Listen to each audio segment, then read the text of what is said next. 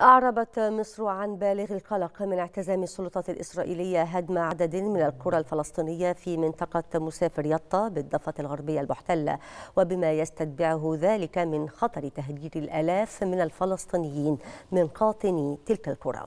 وفي بيان لوزارة الخارجية أكدت مصر رفضها لما تردد حول مخطط بناء نحو أربعة ألاف وحدة استيطانية جديدة في الأراضي الفلسطينية المحتلة مشددة على ما تمثله هاتان الخطوتان من خرق صارخ لقواعد القانون الدولي ومقررات الشرعية الدولية. كما أكدت مصر على الإدانة التامة لسياسة الاستيطان في الأراضي الفلسطينية سواء من خلال بناء مستوطنات جديدة أو توسيع القائم منها. وكذا مصادرة الأراضي وتهجير الفلسطينيين وشددت على أن الاستمرار في مثل تلك الإجراءات الأحادية تؤدي إلى زيادة الاحتقان والتوتر وتسهم في تغذية دائرة العنف كما تقوض من فرص التوصل إلى حل الدولتين وإقامة السلام الشامل والعادل في المنطقة.